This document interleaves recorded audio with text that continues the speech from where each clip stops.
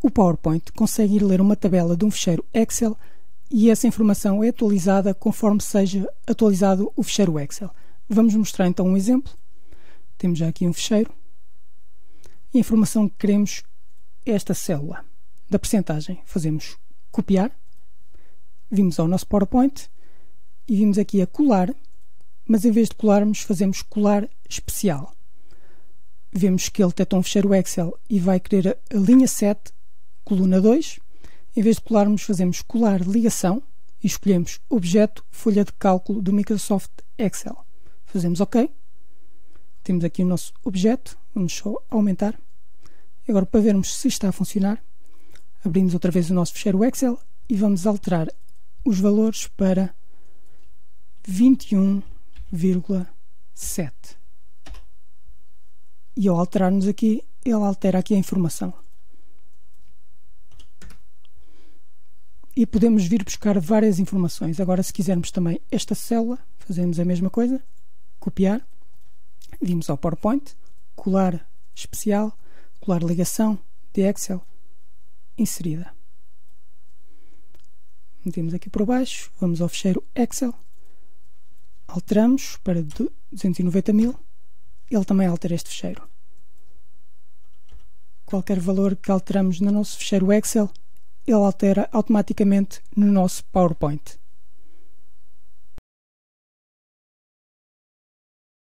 No PowerPoint podemos copiar formatações e animações de objetos já inseridos. Por exemplo, temos esta apresentação que a imagem aparece e abana, tem esta borda e esta sombra.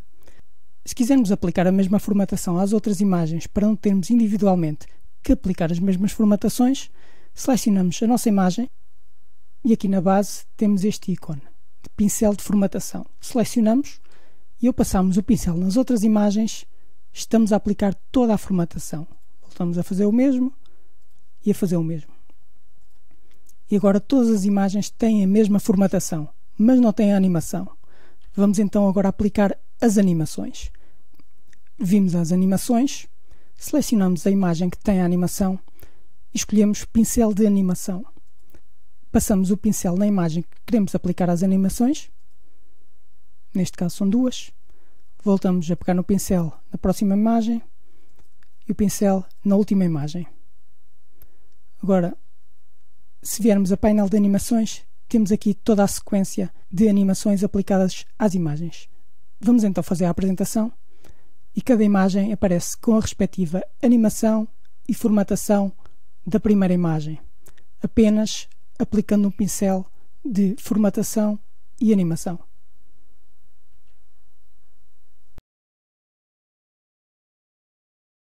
Quando fazemos uma animação do gráfico, ele anima como um objeto completo, mas podemos animar individualmente cada uma das partes do nosso gráfico. Selecionamos então o nosso gráfico, vamos a animações, carregamos painel de animações, vamos inserir surgir. Ao apresentar, ele mostra-nos o gráfico por completo. Mas clicando aqui na nossa animação, vamos a opções de efeito. Aqui podemos escolher por onde queremos que o gráfico apareça, mas aqui embaixo na sequência escolhemos as partes do gráfico que queremos que sejam animadas individualmente. Por exemplo, por categoria, ele primeiro mostra-nos cada uma das categorias, por série, mostra-nos cada uma das séries. Vamos voltar à categoria. Se iniciarmos a nossa apresentação, clicamos uma vez, ele anima a estrutura do gráfico. Clicamos uma vez, ele mostra-nos a primeira categoria. Podemos falar quanto tempo quisermos. Clicamos outra vez, mostra a segunda, a terceira e a quarta. E assim podemos animar individualmente cada uma das partes do nosso gráfico. Por vezes estamos a criar uma estrutura de PowerPoint e ainda não temos os textos definidos, mas queremos já eh, preparar a área. Podemos então inserir texto aleatório. Vimos a inserir Inserimos aqui uma caixa de texto e aqui escrevemos um comando que é igual rand de random abrir parênteses, fechar parênteses, enter e ele insere-nos um texto aleatório em inglês, neste caso. Temos outro comando Vimos outra vez a inserir, caixa de texto. Agora vamos inserir aqui a nossa caixa de texto. Fazemos outra vez o comando igual lorem, abrir parênteses, fechar parênteses, enter. E ele insere-nos um texto em latim. E assim criamos texto aleatório de forma rápida. Existe ainda para estes comandos inserir parâmetros. Por exemplo, fazemos igual rand, abrir parênteses, e dentro de parênteses podemos inserir valores. Primeiro inserimos quantos parágrafos queremos em cada linha. Por exemplo, se inserirmos 3,5, fechar parênteses, ele vai nos inserir texto aleatório, três parágrafos, enter, e cá está. Vamos apagar só este de trás. Três parágrafos e cada parágrafo tem um segmento de texto.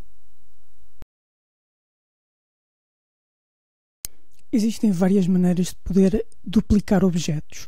Por exemplo, selecionamos a imagem, carregamos Ctrl C e Ctrl V, temos uma nova imagem, ou com o botão direito do rato carregamos em copiar e depois colar. Mas existe um atalho mais eficiente. Selecionamos a imagem e carregamos Ctrl. O ícone muda quando carregamos em Ctrl.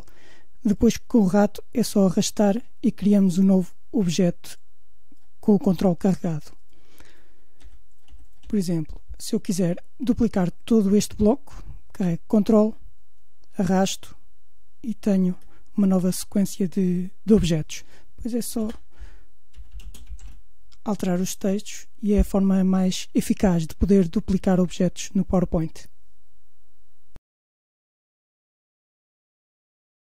Para alterarmos a informação de uma lista numerada, por exemplo, temos estes 5 pontos e se quisermos meter o que está no ponto 5 para o ponto 2, uma das formas erradas de o fazer é selecionamos, fazemos Ctrl X, vimos aqui ao final do ponto 1, Enter, colamos e apagamos esta entrada Pronto, metemos no ponto 2, mas esta é a forma errada. Por exemplo, se quisermos meter este ponto outra vez no, no sítio 2, carregamos Alt, Shift e depois com a seta para cima. E ele move consoante a numeração. Agora, se quisermos meter o ponto 4 em primeiro, selecionamos o ponto 4, Alt, Shift, seta para cima, seta para cima, e está de novo no ponto 1, sem alterar numeração sem inserir nem retirar nada. Na criação da nossa apresentação, podemos utilizar guias e grelhas para criarmos um ambiente visual mais equilibrado para a nossa apresentação. Vemos então aqui a ver e aqui a mostrar temos linhas de grelha e guias. Vamos começar pelas guias. Ao clicar aqui em guias, ele cria-nos uma linha horizontal e vertical centrada. Com estas linhas podemos pegar no nosso objeto e visualmente alinhá-lo, metendo este espaço igual a este para centrarmos a imagem. O mesmo com as linhas de grelha, mas as linhas de grelha são mais linhas horizontais e verticais utilizando pontos. Desta forma, podemos também pegar nos nossos objetos e alinhá-los. Ok. E assim temos os nossos objetos visualmente equilibrados. Podemos chegar este mais um bocado para o lado, para esta distância ser igual a esta. Depois tiramos as linhas de grelha e temos a nossa apresentação visualmente equilibrada. O PowerPoint tem uma ferramenta que permite fazer um alinhamento automático. Por exemplo, estes três objetos estão alinhados, estes não. Selecionamos os três objetos, vimos a formatar e aqui na opção alinhar. Podemos alinhar à esquerda, ao centro, à direita ou alinhar ao meio, na parte inferior ou superior. Neste caso queremos alinhar ao centro, para eles ficarem alinhados por esta linha. Pronto, estes objetos já estão. Agora, estes dois textos não estão alinhados, podemos também voltar a selecionar. Vamos outra vez a formatar, alinhar e neste caso queremos alinhar ao meio. Agora estão os dois alinhados só chegamos para cima e este podemos chegar um pouco para o lado e pronto. A nossa apresentação está alinhada e está visualmente equilibrada.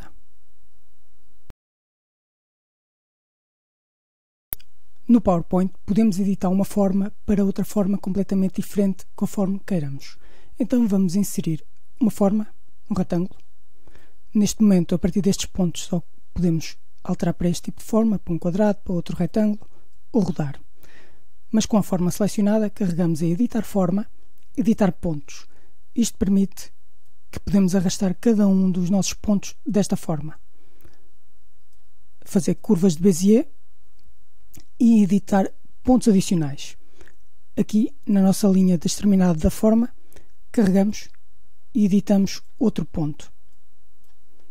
Podemos fazer em qualquer parte da forma e automaticamente criamos um novo ponto que podemos editar a nossa forma.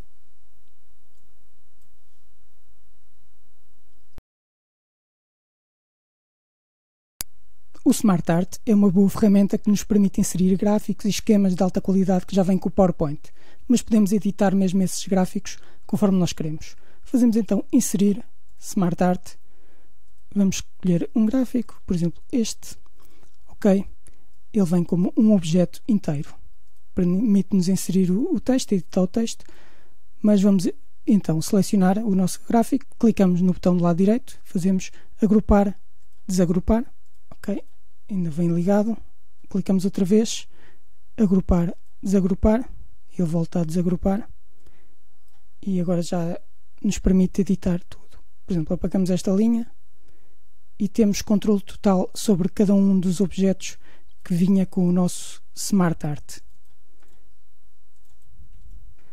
Vamos meter aqui um texto. Este é o ponto 3. Vamos editar a cor desta bola, editar a linha. Temos controle total a fazer o desagrupamento de todo o gráfico.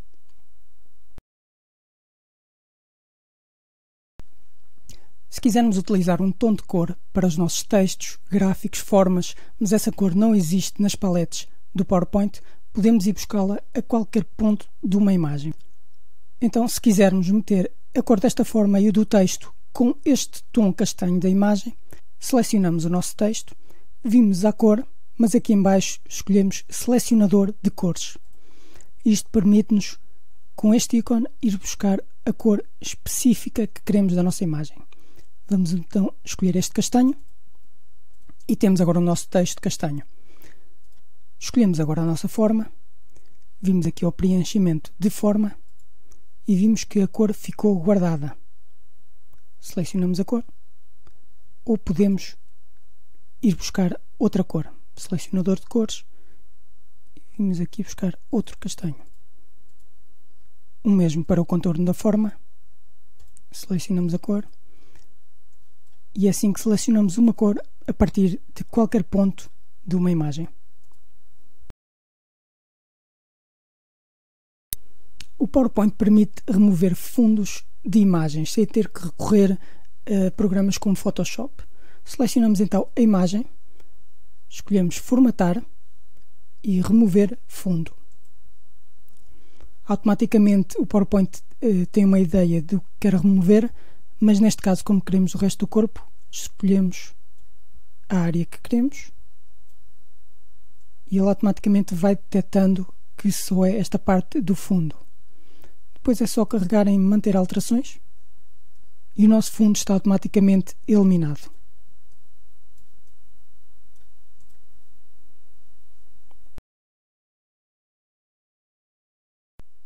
O PowerPoint permite também inserir equações. Então vimos aqui a inserir símbolos. Aqui debaixo da equação, na seta, temos aqui várias opções de equações, mas aqui no fundo temos equação a tinta digital clicamos e temos aqui uma área onde podemos escrever a nossa própria equação. Então começamos a escrever x igual a 1 terço mais. Se ele escrever mal, vimos aqui a apagar. Podemos apagar todo o ícone ou partes e tentamos escrever melhor. Ok? Já corrigiu. Por exemplo, mais uma raiz quadrada de 137. Fazemos inserir. Temos aqui a nossa equação. Vamos já aumentar o tamanho. Okay. Temos aqui a nossa equação e podemos se alguma coisa ficou mal escrita, podemos editar. Por exemplo, aqui queremos 13. Queremos apagar aqui o 1 ou meter qualquer valor, podemos editar conforme queremos. No caso de precisarmos de substituir uma imagem de uma forma que já tem várias formatações aplicadas, podemos apenas substituir a imagem. Neste caso, vamos duplicar este slide, porque eu quero manter o mesmo esquema, mas para outra pessoa. Vimos ao segundo slide e escrevemos a nova informação dessa pessoa. Temos aqui este exemplo. No primeiro slide temos esta pessoa com este nome no segundo slide, este nome já não corresponde à pessoa. Podemos substituir a imagem para não termos que aplicar formatações novamente. Selecionamos então a imagem, clicamos com o botão direito do rato, alterar imagem, navegamos até onde temos a imagem, selecionamos a nova imagem, inserir e a imagem fica substituída numa forma que já tem formatações aplicadas. Neste caso é só um reflexo e uma borda, mas podia ser mais complexo. E assim rapidamente temos dois slides com informações diferentes, utilizando a mesma estrutura. No PowerPoint podemos inserir uma imagem dentro de qualquer forma. Vamos começar por ir vir a inserir e escolher uma forma. Pode ser esta. E agora, em formatar, vamos a preenchimento de forma. Em vez de escolhermos uma cor, vamos escolher imagem.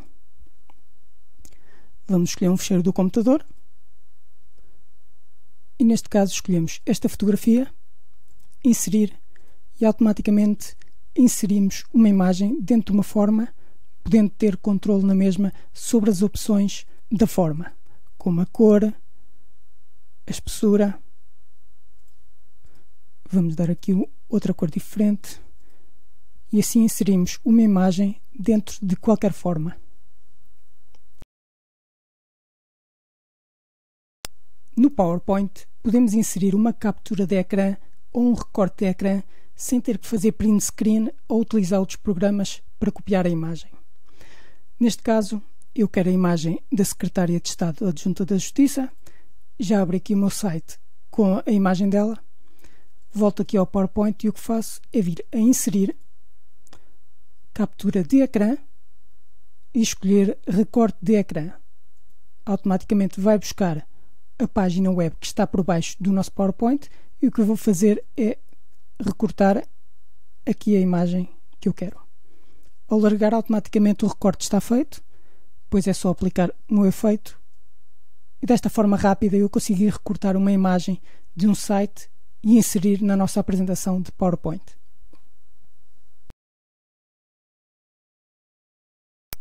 No PowerPoint podemos inserir um vídeo para a apresentação mas para esse vídeo não ficar a ocupar tanto espaço, podemos comprimir. Vamos então em Inserir, clicamos em Vídeo, Vídeo do meu PC e selecionamos o vídeo. Inserir.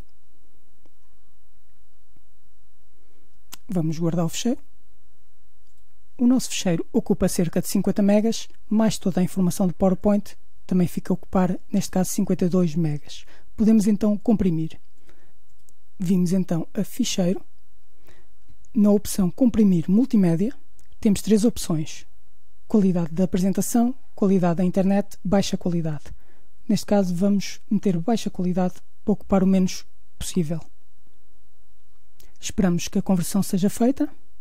No final, diz-nos quanto ocupava o fecheiro, quanto ficou a ocupar. Neste caso, reduziu 47 megas. Fazemos fechar, guardamos. Se viermos ver agora o tamanho do nosso fecheiro PowerPoint, só ocupa 3 megas.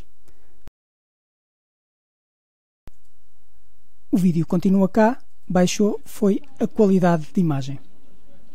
Mas é uma boa opção para reduzir o tamanho do fecheiro PowerPoint que pode ser enviado facilmente por e-mail. Podemos, dentro do PowerPoint, ir à internet pesquisar um determinado texto que selecionamos. Por exemplo, temos este nome e esta imagem mas se não conhecemos a pessoa, não sabemos se corresponde à verdade. Selecionamos então o nome, vimos a rever e carregamos em Pesquisa Inteligente. No lado lateral direito, o Bing irá fazer uma pesquisa à internet que nos mostra alguns textos, algumas páginas e imagens, neste caso da pessoa que pesquisamos. Desta forma, podemos confirmar que este nome corresponde a esta imagem. Mas o mesmo podemos fazer para pesquisar qualquer texto que tenhamos na nossa apresentação. Os ícones no topo esquerdo do nosso PowerPoint são ícones de acesso rápido, comandos que precisamos de aceder rapidamente ou frequentemente. Então, para adicionar ou remover estes ícones, aqui nesta zona, clicamos com o botão direito do rato, carregamos em personalizar friso, escolhemos barra de ferramentas de acesso rápido e vamos escolher comandos fora do friso, que são comandos que não estão a ser utilizados neste momento, para escolhermos o que queremos adicionar. Então, por exemplo, carregamos em abrir, no ícone de abrir e fazemos adicionar, que ele vai adicionar o de abrir. Se carregarmos OK, cá está o nosso ícone. Vamos adicionar mais alguns, novamente o mesmo, e por exemplo, vamos escolher este combinar formas, adicionar, contraste, adicionar e duplicar. Adicionar. Estes três que adicionamos, ao clicarmos OK, eles vão ser inseridos. E cá estão eles.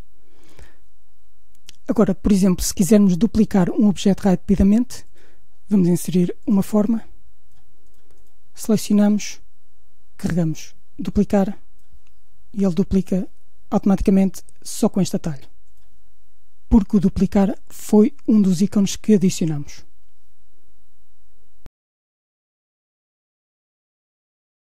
No PowerPoint podemos adicionar cabeçalhos e rodapés automáticos e a todos os slides.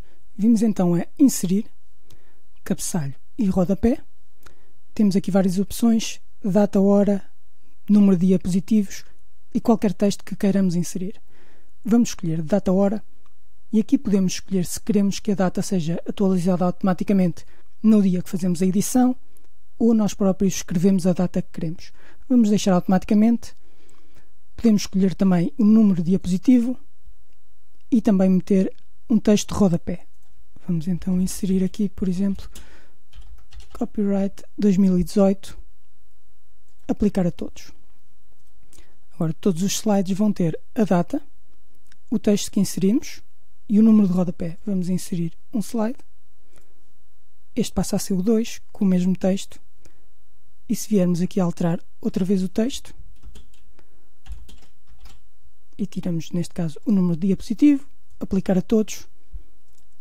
Todos os slides têm a mesma alteração.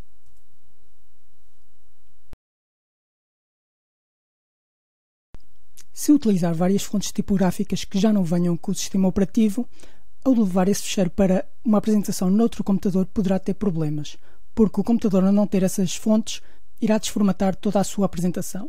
Então, para guardarmos, neste caso, esta fonte que não vem com o sistema operativo, vimos a Ficheiro, Opções, Guardar e aqui embaixo selecionamos Tipos de letra incorporados no ficheiro e aqui uma destas opções, incorporar apenas os caracteres utilizados na apresentação ou incorporar todos os caracteres. Vamos escolher incorporar todos os caracteres, fazemos OK, guardamos a nossa apresentação e agora todas as fontes que utilizamos na nossa apresentação estão guardadas no próprio ficheiro e não vamos ter problemas com qualquer computador que vamos utilizar para fazer a apresentação.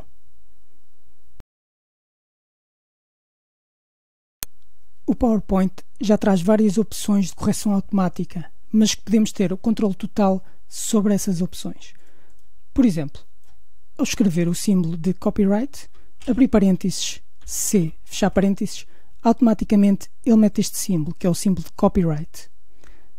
Para fazermos essas alterações, vimos a Ficheiro, Opções, Verificação, Opções de correção automática.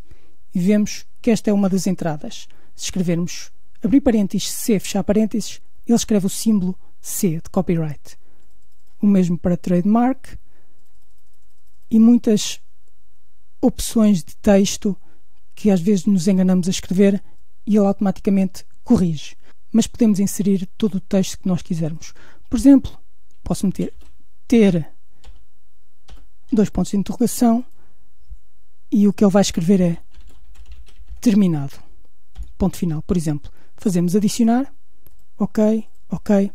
Agora, se escrevermos aqui ter, ponto de interrogação, ponto de interrogação, ele corrige automaticamente para terminado. E podemos personalizar todo o texto que nós quisermos para todas as alterações automáticas que queremos que aconteça no nosso ficheiro de PowerPoint.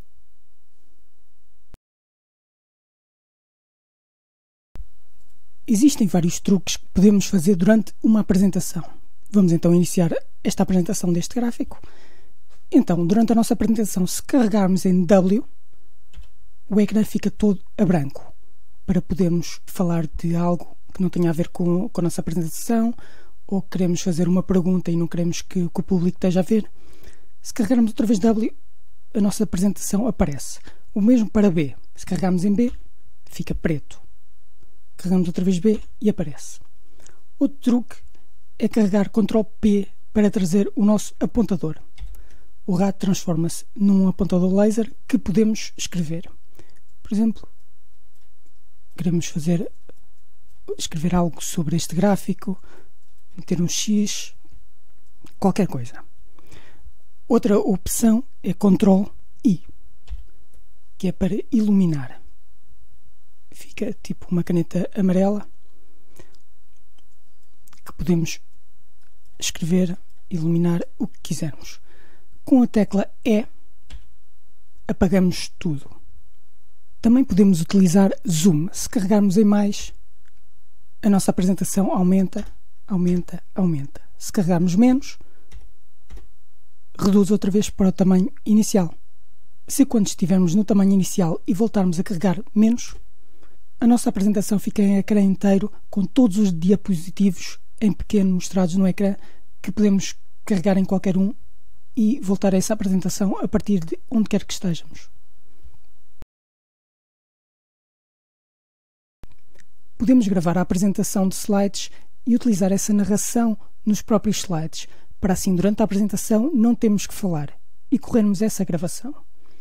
Selecionamos então este primeiro slide desta pessoa vimos a apresentação de diapositivos e gravação da apresentação.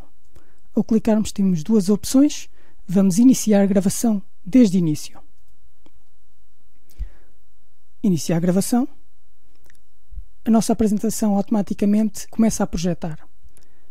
Enquanto falamos, está a ser gravado. O tempo está a contar. Se precisarmos de fazer uma pausa para organizar o nosso pensamento, clicamos em pause. A gravação está em pausa podemos e neste momento não está a gravar. Voltamos a retomar e continuamos a fazer a nossa apresentação.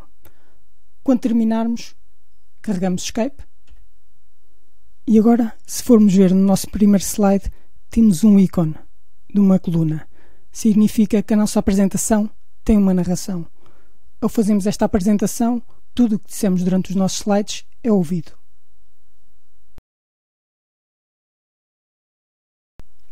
Podemos fazer com que uma apresentação seja repetida sem fim. Por exemplo, neste caso, temos três slides. Ao fazermos a nossa apresentação, clicamos, aparece o segundo, o terceiro e termina. Mas podemos fazer com que, ao chegar ao terceiro, volte ao primeiro. Para isso, vimos a apresentação de diapositivos, configurar a apresentação de diapositivos e aqui nas opções de apresentação selecionamos repetir continuamente até a primeira tecla Escape. Selecionamos, fazemos OK. Vamos iniciar então a nossa apresentação outra vez. Temos o primeiro slide, o segundo, o terceiro e volta ao primeiro. E nunca termina até carregarmos Escape.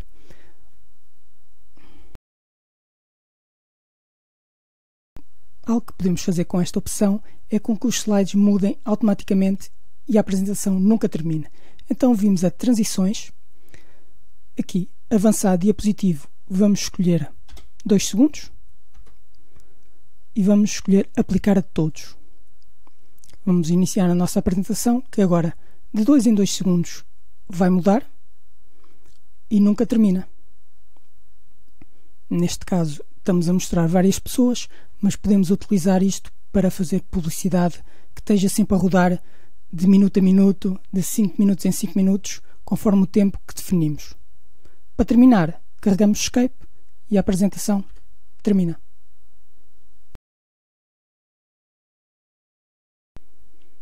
No PowerPoint podemos fazer apresentações personalizadas, ou seja, da lista de slides, escolher quais os slides queremos para fazer a apresentação. Neste exemplo, tenho homens e mulheres e quero criar dois tipos de slides, um com os homens e um com as mulheres. Vimos então quais são os slides, neste caso das mulheres, é o 2, o 3, o 7 e o 10. Vimos então a apresentação de diapositivos, personalizar a apresentação de diapositivos e apresentações personalizadas. Neste menu vamos clicar em novo e vamos, vamos dar um nome, mulheres, e vamos escolher os diapositivos das mulheres. Quero inserir também o primeiro que são todos, depois o 2, o 3, o 7 e o 10 e adicionar. Fazemos OK. Vamos criar já o segundo. Novo. Homens. Escolhemos o primeiro. O 4. O 5. O 6. O 8 e o 9. Adicionar. OK.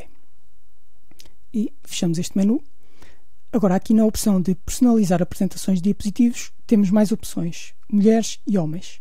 Ao clicarmos em mulheres, iniciamos a apresentação só dos diapositivos das mulheres, incluindo neste caso o primeiro. Seguimos para a próxima.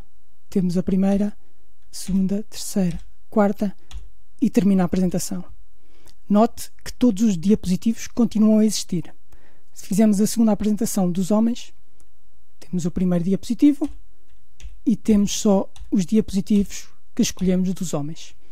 Desta forma, sem ter que eliminar nenhum diapositivo da nossa apresentação, conseguimos criar apresentações personalizadas apenas com os diapositivos que queremos para uma apresentação específica.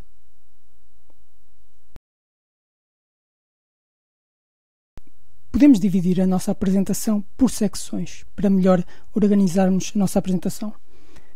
Clicamos aqui entre cada slide, que nos dá esta linha vermelha. Vimos aqui na nossa base em secção e fazemos adicionar secção. Deve começar sempre pelo fim, porque sempre que adicionamos uma secção, ele incorpora nessa secção todos os slides abaixo. Vamos agora criar outra secção, mais estes três. Clicamos aqui entre estes slides, secção, adicionar secção temos outra secção. E mais estes três, secção, adicionar secção. E o primeiro, como sobra, ele é uma própria secção. Podemos dar os nomes às secções. Clicamos com o botão direito do rato, fazemos mudar nome de secção. Temos início. Nesta secção, mudar o nome. Painel 1. Nesta secção clicamos, botão direito rato, mudar a secção, painel 2 e por fim painel 3. Podemos colapsar cada uma das secções, ouvir aqui a secção e escolhemos fechar tudo ou secção expandir tudo. Neste caso vamos fechá-las porque agora podemos mover cada uma das secções. Imaginamos que o primeiro painel, que são estes três, afinal vai falar em último, arrastamos para o último. E agora automaticamente estes três slides foram os três movidos para o fim. E desta forma podemos organizar a nossa apresentação por secções, metendo slides em diferentes secções.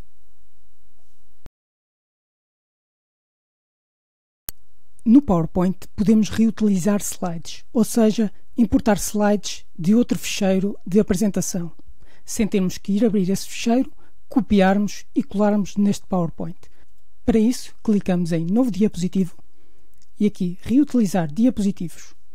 Navegamos até à nossa localização, procurar, procurar fecheiros e selecionamos o PowerPoint que queremos retirar os slides. Neste caso este. E aqui aparecem todos os diapositivos desse slide. Neste caso eu quero destas três pessoas. Para isso, basta clicar no diapositivo e ele insere automaticamente clicamos noutro e o terceiro este. E aqui temos os três slides que ao clicar automaticamente eles são inseridos. Depois é só fazer a apresentação e todo o conteúdo desse slide foi importado para o novo slide. Isto é uma ferramenta muito útil para quem tem que utilizar slides repetidos de várias apresentações. Ao trabalharmos na nossa apresentação de PowerPoint, muita informação de metadata poderá estar associada ao nosso fecheiro, que se formos partilhar com alguém, podemos não querer partilhar essa informação. Se viermos a ficheiro, temos aqui alguma informação. No meu caso não é muita, mas temos o autor, quem modificou e pode ter outra variedade de informação. Para eliminarmos esta metadata, vimos esta opção de verificar a existência de problemas, inspecionar documento. Tem aqui várias opções, mas a mais importante é esta segunda: propriedades do documento e informações pessoais, que é aquela informação que podemos não querer partilhar ao divulgarmos o fecheiro. Selecionamos e fazemos inspecionar. Neste caso, são informações propriedades do documento, o nome do autor e até informações de um recorte de uma imagem. Fazemos então remover tudo, podemos reinspecionar ok, não detectou mais nada, fechar e agora já desapareceu toda essa informação. O nome do autor, quem modificou e apenas tem eh, quando o fecheiro foi criado, tamanho do fecheiro, número de diapositivos, informação básica que não tem nada a ver com a informação sobre quem criou o fecheiro, a sua informação pessoal do seu computador.